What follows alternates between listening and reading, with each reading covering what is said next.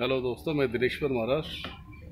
आज आप सबका स्वागत करते हैं। जैसे आप देख रहे हैं नासिक में हूँ, पंचवटी में।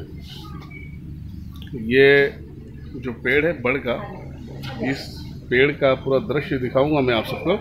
इसे गौर से देखें। लक्ष्मण जी ने 12 साल तपस्या किया यहाँ पे, मेघनाथ को मारने के लिए। आप इसे देखें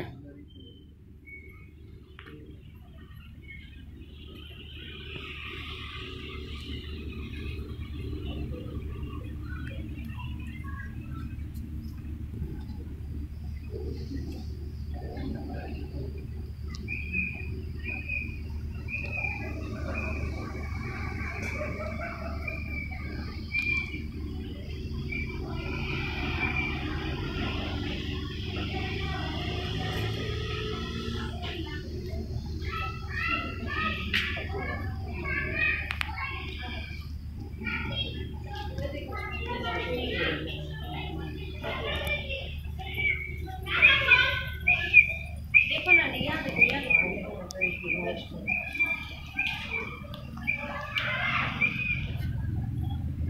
और एहसास करें। अपने सनातन सत्य को एहसास करें। बस इतना ही बताना चाहूँगा। Thank you so much